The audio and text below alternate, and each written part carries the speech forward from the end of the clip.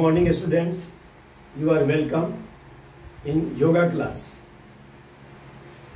आइए, जैसे हम लोग क्लास में जब क्लास चलता था तो हर सैटरडे को हम लोग योगा क्लास करते थे और आप बच्चे बहुत ही कुशलतापूर्वक इसका अभ्यास करते थे। तो आइए, उन सबको हम लोग एक बार पुनः करने का प्रयास करते हैं।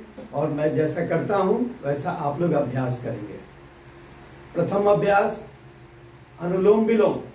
अनुलोम विलोम में एक नाक को बंद करके दूसरे नाक से श्वास, लंबी गहरी श्वास अंदर लेते हैं, फिर उसको बंद कर लेते हैं, तत्पश्चात उसको फिर उसी नाक से छोड़ देते हैं।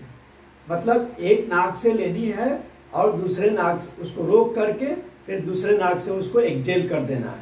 फिर इन, इनहेल करना है फिर एक्जेल करना है। जैसे लंबी सांस फेफड़ों में भरा गहरी सांस एक क्षण के लिए इसे रोक दिया और इसे बंद कर लिया फिर दूसरी नासिका से इसे छोड़ेंगे और बाहर पूरा छोड़ेंगे।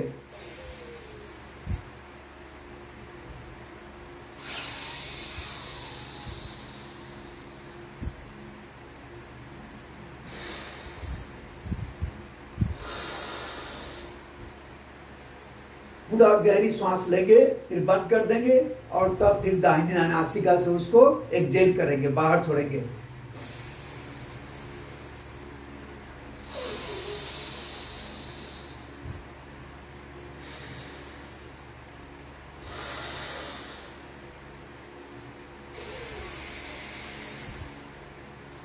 आँखें खुली रख सकते हैं, बंद रख सकते हैं।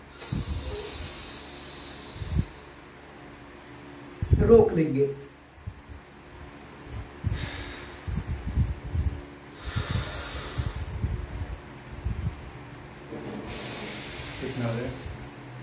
इसको इस क्रिया को आप 15 से 20 बार करेंगे तो इससे आपको लाभ होगा।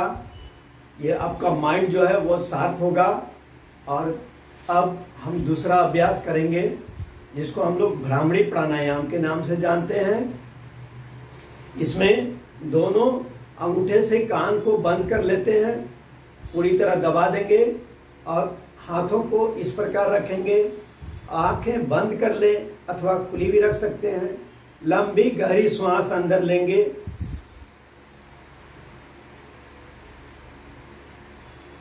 मुँह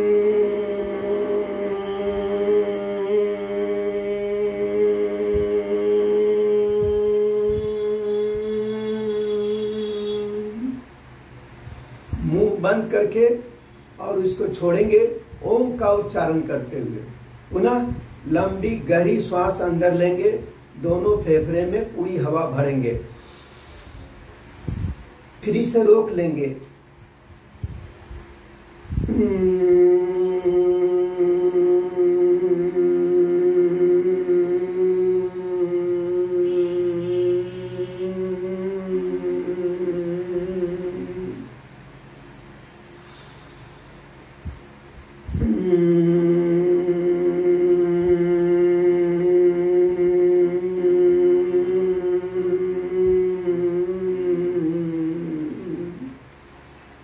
इस क्रिया को भी आप 10 से 15 बार कीजिएगा तो इससे आपकी याददाश्त बढ़ेगी और माइंड से निगेटिविटी बाहर निकल जाएगी और आपका माइंड शार्प हो जाएगा, याददाश्त तीक्ष्ण हो जाएगी, मेमोरी शार्प हो जाएगी। अब इसके बाद अगला अभ्यास। अगला अभ्यास हम लोग कपाल भाती करते हैं। कपाल भाती में लंबी गहरी श्वास अंदर लेते हैं और उसे छोड़ते हैं। एक झटके के साथ उसे छोड़ेंगे। जैसे लंबी गहरी श्वास ली, फिर उसे छोड़ा। फिर गहरी श्वास ली, फिर छोड़ा। इस तरह आप इस क्रिया को करेंगे थोड़ा जल्दी, फास्टली।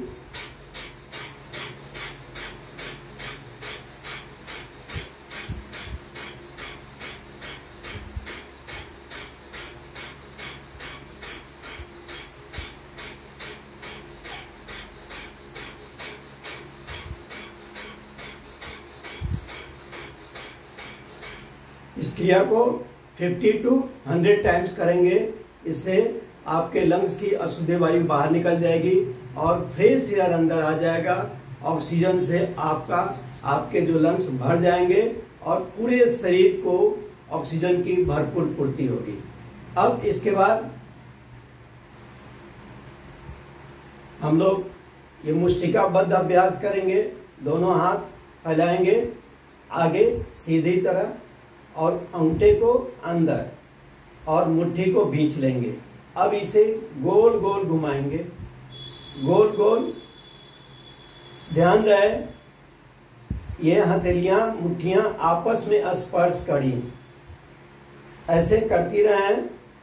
बहुत बच्चे अलग भी से भी करते हैं, हम देखते थे, वैसे कर लें, लेकिन सही अभ्यास यही है। इसे फिर अपोजिट डायरेक्शन में। Move it into opposite direction गोल गोल घुमाना है। इससे आपके हाथ, कलाई, कंधे की जो नस है, वो खुल जाएगी। उसमें रक्त प्रवाह आसानी पूर्वक होने लगेगा। कभी कभी ऐसा होता है कि रक्त प्रवाह रुकने से हथेलियाँ या कंधे या कुल्हे दर्द करने लगते हैं। कोहनियों में दर्द हो जाता है। इस तरह आप करेंगे इस अभ्यास को कंटिन्यू करेंगे। प्रतिदिन 10 से 15 बार इसे करेंगे। रिलैक्स अब हम लोग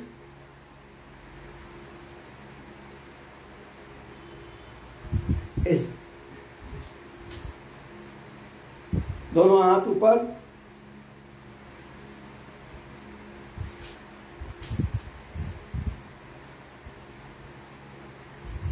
फिर नीचे दोनों पैरों को स्पर्श करेंगे। फिर ऊपर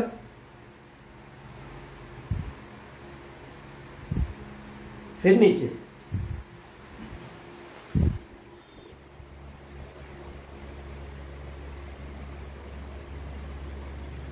फिर नीचे आएँगे, सांस छोड़ते हुए दोनों पैरों को छोड़ेंगे और सर नीचे। फिर इसी मुद्रा को पुनः करेंगे सांस रोक के पीछे। फिर सांस छोड़ते हुए नीचे। यह क्रिया भी आप पाँच बार कर सकते हैं, पाँच से दस बार कर सकते हैं। रिलैक्स